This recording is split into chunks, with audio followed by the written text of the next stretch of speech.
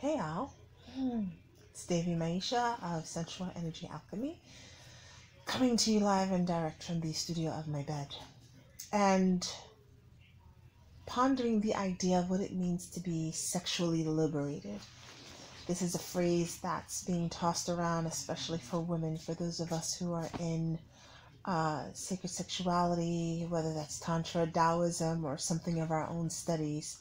And many of us say that we're sexually liberated.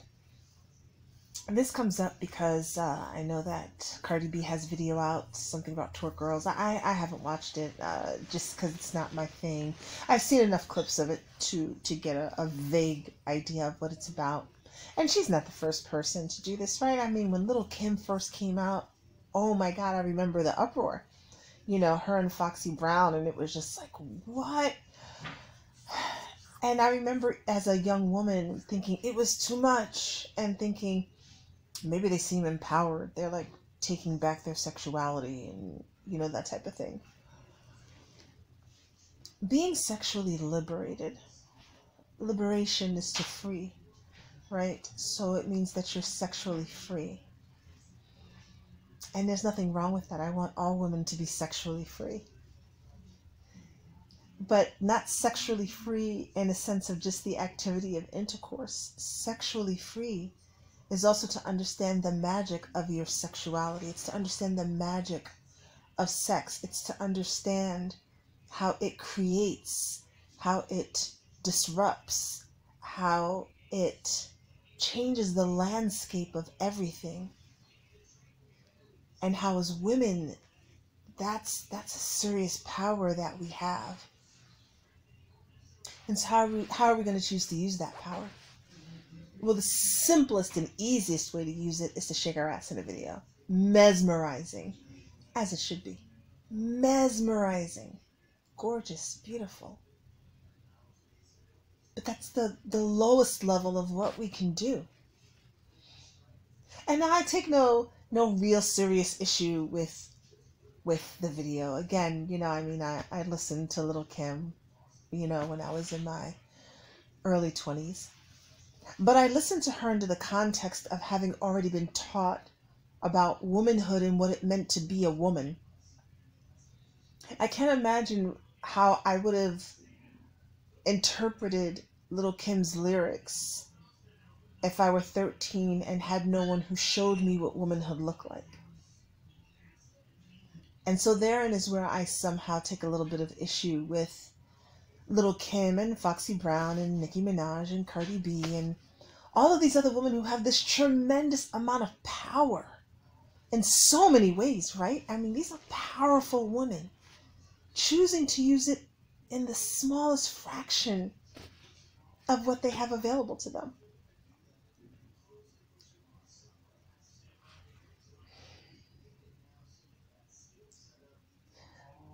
That power can be used to change the world.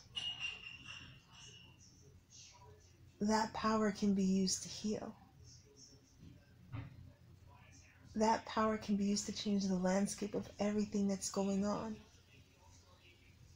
Or it can be used to entertain and make money. And I don't want to cast judgment one way or the other what I'm seeking is balance. If the twerk girls, if that video is designed to show women being empowered, I just want to see something on the other side that does the same. If we're talking about chakra healing and moving the energy through the body, which is absolutely true. Do the women in that video know that? Do they know the energy that they're creating? Are they in full understanding of their power as women? Or are they only looking at it through this small piece of what they can do? And the girls who are watching, are they understanding? Are they grasping the power? Or are they just looking at this as a way to use their power at the basest level possible? because I'm I'm all about sexual liberation. I'm all about women doing what they do, how they do it, when they do it with awareness and understanding of how powerful we truly are. Not just from the get mine, that's cool sometimes. Not just from the perspective of, you know, security, because women do that too. We use our sexual power to make sure that we're securely taken care of. It's been happening since the earth was formed but awareness and understanding and cultivating that. And then bringing that back to heal our communities. Bringing that back to not just entice our men, but entice our men into healing. Huh? Can we entice our men into healing? Yeah, we can entice them into giving us some dollars. But can we can we grab onto their spirit instead of their wallet? See where we can take this? Be sexually liberated. Be free, libre. Be, be free. But with freedom comes responsibility. How, how are we as women using that? Are we shaping, changing, molding the next generation? Does that sound like too much? It's not fun? We just want to shake our ass and have fun? Knowing that we give birth to everything. So we want to shake our ass and have fun and then say that we're empowered at the same time, but not use that power that we have? No, no, nah, sis. Shake your ass and have fun and use your power.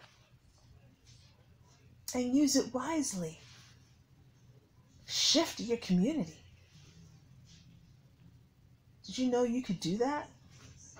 with that sexual liberation? Shift how you use it. Stop going for the low hanging fruit, his, his dollars, his wallet. Get his soul. Get his soul and bring that out. help cultivate that. Huh? Because if you can entice him with your ass, you know he's going to want to do what he can do to keep that there. What are you going to do with that? So I'm not saying don't have fun. I'm not saying don't be sexually free. Please be free. With great power comes great responsibility. Let us not be corrupted by our power. How does that make us any different from the patriarchy? If we use our sex as the base level of power, how does that make us any different from the men that we claim we we don't you know we don't want that? Hmm? Be sexually free. Be free. Be liberated. I'm all for it.